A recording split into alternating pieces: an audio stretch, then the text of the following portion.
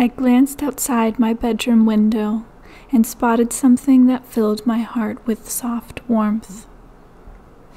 There is a tree with a very tall limb extended up higher than the rest. At the very tip top of this limb floats a single thread of a spider web, gently swaying in the wind.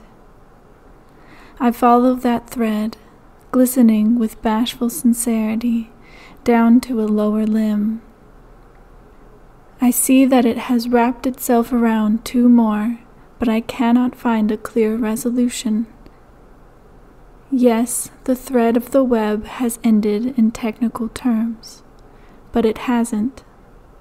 Each time I stare at those delicate strands, my eyes keep searching for the rest, as if invisible.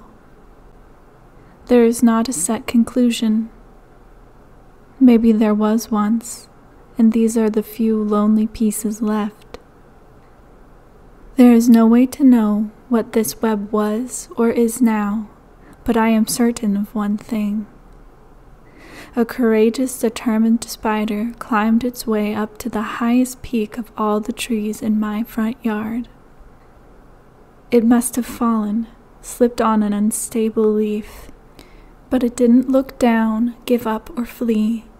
It probably fought off some birds and their dangerous beaks.